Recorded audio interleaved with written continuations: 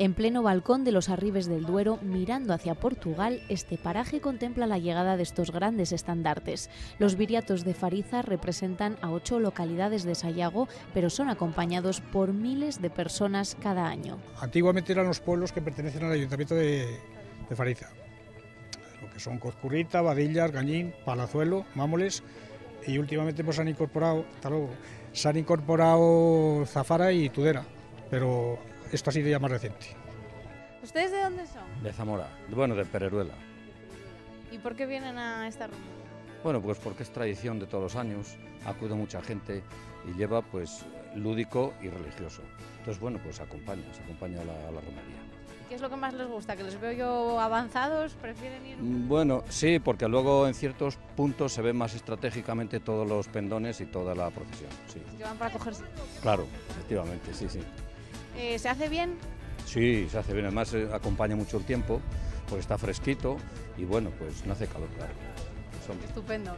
fenomenal, fenomenal. Oye, lo mejor después llegar allí y ver el- los arribes como se ven desde... los arribes, ver la vuelta que dan a la ermita a los pendones con, con la imagen, entrar a cantar la salve, en fin, es muy espectacular, muy bonito, sí. sí, sí. ¿Y a usted qué es lo que más le gusta de esto? Pues a mí el ambiente, sobre todo, el ambiente que hay y que te encuentras con gente que igual en todo el año no la ves. Y aquí pues te encuentras con gente de Barcelona, de Madrid, de, de muchos sitios, que durante todo el año no nos vemos. Y solo, vamos, más que por eso. Yo lo que es comer y eso no suelo venir. Pero se vive esto desde por la mañana, porque ahora estamos aquí, pues eso, haciendo el recorrido, pero desde por la mañana es ambiente festivo. Se vive el que venga por la mañana pues al encuentro de todos los pendones que reciben en la plaza y después ya por la, por la tarde. Yo unas veces vengo por la mañana y otras por la tarde, depende, como, le- como me cuadra. ¿Y para usted qué es lo mejor? Pues yo también vengo por el ambiente y porque sales un día y les acompañas a los demás pueblos, son pueblos todos de Sayago y vamos a unos y a otros y bueno, por salir, por salir un día de casa y pasa- eh, pasar un rato por aquí. ¿Y a usted qué le parece la gente que lleva eh, los pendones? Hay que tener un dominio y una destreza bárbara. Pues sí, y eso está muy bonito porque los mayores se lo han enseñado a los otros más jóvenes y ahora ya van más jovencitos todavía, porque nosotros venimos muchísimos años, llevamos viviendo y ves que chicos jóvenes ya empiezan a cogerlos y eso está muy bien porque pasa más Pues el día ideal para lo que es la romería esta, ideal. Mejor imposible porque si hiciera más calor, aquí no había quien parara. Y si está lloviendo, pues no te digo nada. Muy bueno. Además, como veis, mucha gente. Y bueno, pues los que somos de aquí autóctonos, nos lo estamos pasando muy bien. Cuéntenos, eh, todos los años viene muchísima gente a esta, a esta Yo romería. que casi me he criado aquí en este pueblo y lógicamente de pequeño pues estaba siempre. Pero ahora llevaba 13 años sin venir. Y estoy este año un poco contento de poder estar aquí. ¿De dónde son? De aquí de Fariza. Sí. ¿Y por qué es tan espectacular esta romería a la que acude tanta gente de tantas... Pues no lo sé porque es una costumbre de hace muchos años y, y la gente acude. ¿Por qué le gusta a usted? Yo no vengo mucho, ¿eh? Yo vivo en Madrid y no te crees que vengo todos los años, ¿eh? Porque cuando puede viene. Sí. Ahora ya ¿Qué? estoy jubilada ya vengo. ¿Ustedes son de por aquí? Sí, de Fermoselles. ¿eh? ¿Vienen muchos años? Casi todos los años venimos, venimos por aquí. ¿Por qué? ¿Por qué?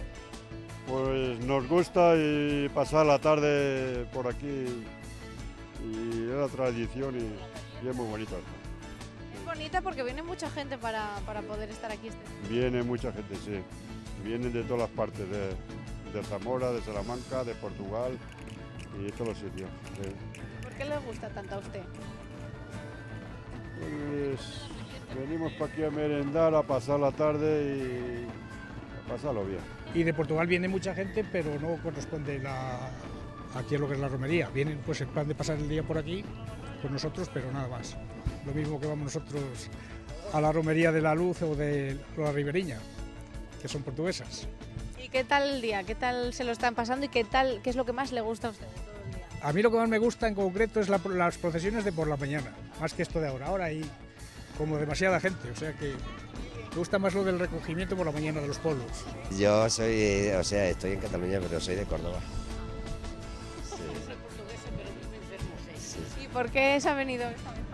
Bueno, He venido con los vecinos y a ver qué había por aquí en la procesión. ¿Qué le está pareciendo? Muy bien, muy bien. Bueno, bonito, sí, sí, sí. Muy bonito porque puedes pasear para acá, para allá y muy bonito. ¿Y los pendones le dan sorpresa?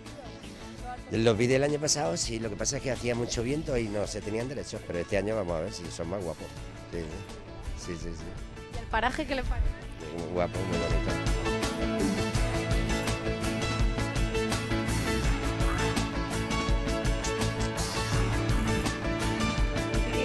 Hace mucho aire, ¡ay que se cae! ¡ay que se cae! Y, y vas con el corazón desde el año Pues yo creo que muy pesados, muy grandes, que con el aire pues toman a llevar, ¿eh? Y mucha destreza hay que tener. Sí, que no se cae con eso. ¿Cómo se lleva esto? Mal, voy aquí reventado, voy que no puedo ya. ¿Cuánto tiempo lleva? Ah, media hora. Y ya, y ya pesa. Bueno, un poco. Bueno, pero este año mejor que el año pasado, ¿no? Que creo que el año pasado fue horrible con el viento. Sí, no, no, esto no se lleva bien. Esto no se lleva bien. No hace aire. Si el que lo lleva atrás lo lleva bien, no te, no te carga el peso encima. Pues vamos a preguntarle, ¿eh? Vale. Mal, mira, voy sudando. ¿Cuánto rato lleva? Un ratico, poco. Bueno, a ver, ¿esto cómo se puede mantener en equilibrio? Que siempre os hacemos la pregunta porque es increíble. Como lo que veis, una cosa normal. ¿De dónde lo aprendiste tú? ¿Quién te enseñó? A mí nadie, de ver. Claro, Lo que hay que tener, equilibrio, maña. Maña más que otra cosa. Sí, Y el cinturón está impresionante. también, también, claro. ¿Cuántos metros tiene este vídeo? Me parece que 8. 8, 8 y algo por ahí. ¿Y esto se llama cinturón o...? ¿Te van dando indicaciones? No, pero no hago caso ninguno. No, Tú solo, por libre. solo. Me tienen que hacer ellos caso a mí. Bueno, a ver, que vais a parar, espérate.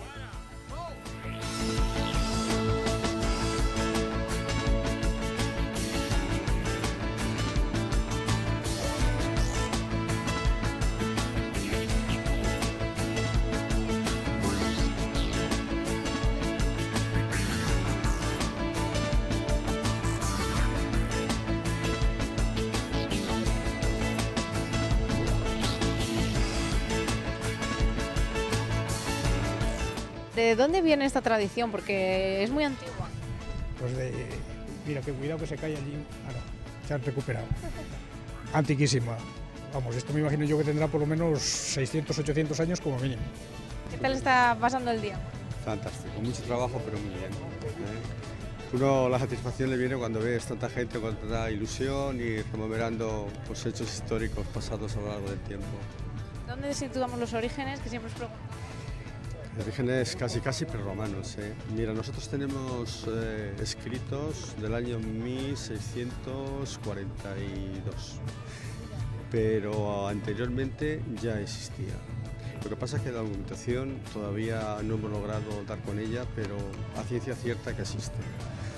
Incluso había un vecino de aquí, de, de este pueblo, que trabajaba en la Biblioteca Nacional de Madrid y, me, lo comentó, incluso decía que lo tenía. Insistí mucho que no se hiciera con ella, pero por la razón que fuera, pues no, no es. Pero en, todo- en cualquier caso, lo que está claro es que aquí hay los valores culturales tradicionales, religiosos, que se mezclan con el paganismo y demás, y que la gente vibra, vibra con- emocionalmente con este tipo de cosas, ¿sabes? Cada año, bueno, vemos siempre muchísima gente, pero cada año se anima. más. Sí, cada año yo creo que acude la gente con más interés, ya no solo de la zona de nuestros pueblos, sino de los alrededores de Portugal, incluso de León había familias, había gente de Burgos también, hoy, esta mañana saludo yo a gente de Burgos. Por lo tanto, es que está extendiendo y la labor que hemos hecho de, transmitir eh, este acontecimiento a los rincones de la comunidad, pues ha dado su efecto, evidentemente. Desde todas partes, también desde Portugal, por supuesto, pero los pendones son los que son. No, los pendones son los típicos pendones, son los ocho que tenemos aquí hoy con nosotros. Los pequeños están, los niños pequeños están tomando como ilusión. El año pasado desfiló Fariza, eh, también con Currita, este año se ha incorporado Palazuelo con pendón pequeño. Y yo creo que ahí tiene que empezar precisamente el brotar de esas sensaciones tan atractivas que vienen a tener al fin y al cabo, ¿no? porque de lo contrario ya sabéis que el año pasado tuvimos aquí también a los pendones de los viriatos de, León. Fue un acontecimiento hemos quedado en deuda tanto ellos con nosotros como nosotros con ellos, que vendrán evidentemente casi seguro el próximo año.